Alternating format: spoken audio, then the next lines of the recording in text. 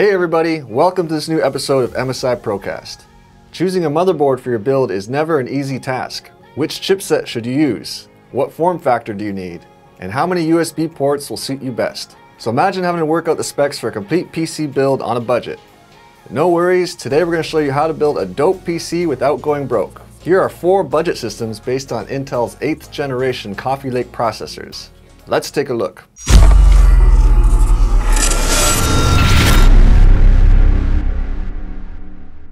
First up is the one we call the Mighty. This is the first of our two suggested builds, which will be using a Micro ATX form factor motherboard. Here we opted for a dark look using the MSI B360M mortar motherboard along other black components. This motherboard will be using an Intel 8th generation core processor.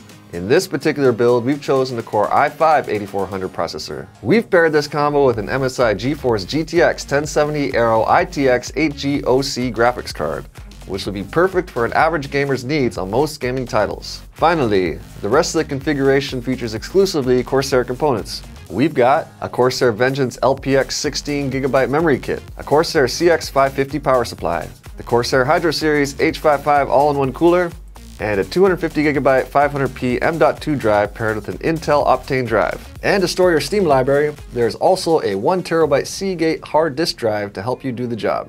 Here we've packed it all into the Corsair Carbide Air 240 case. This small form factor case is great as it offers lots of airflow to keep your components cool.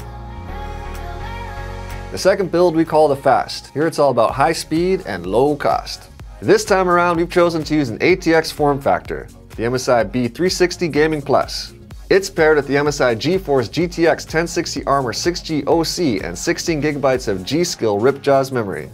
The processor again is the Intel Core i5-8400, cooled this time by the Cooler Master Master Air MA410P RGB CPU air cooler. The rest of the build is full-on Cooler Master. Here we've got a Cooler Master MWE Bronze 500 watt power supply and the Cooler Master Masterbox K500 case. Last thing I should mention is the addition of the Intel Optane memory, which will give you SSD-like performance on large hard disk drives and thus enhance your gaming experience.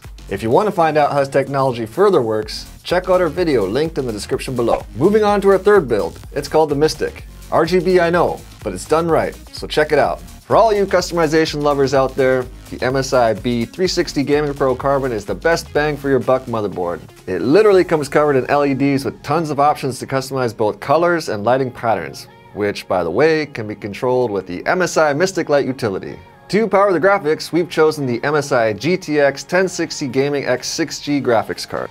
HyperX drives the memory this time with a kit from their Fury series. This is a 16GB high performance kit, so it will definitely serve you well in the long run. You can even select more RGB compatible components by visiting our dedicated page linked in the description below.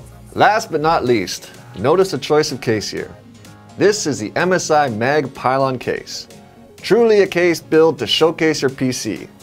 It's glorious! Finally, for those out there who are looking for something a little different, the fourth budget build is something I know you'll love. It's called the Arctic. For this one, we've chosen to use an all-white theme using the MSI H310M Gaming Arctic motherboard. This board features 7 power phases, as well as enhanced cooling solution which will undoubtedly give your computer a longer lifespan.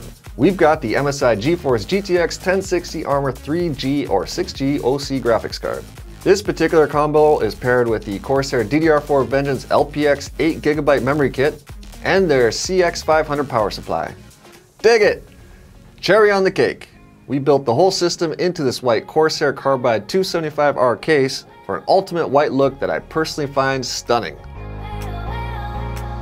Just a side note, if you're on a tight budget, I highly recommend you opt for a graphics card first rather than memory. Now that we've gone through all the options, it's time for you to vote. Which is your favorite MSI budget PC build? The Mighty, the Fast, the Mystic, or my favorite, the Arctic? You can find all the specs for these builds linked in the video description below. Don't forget to subscribe and give us a thumbs up. Thanks for watching and happy gaming.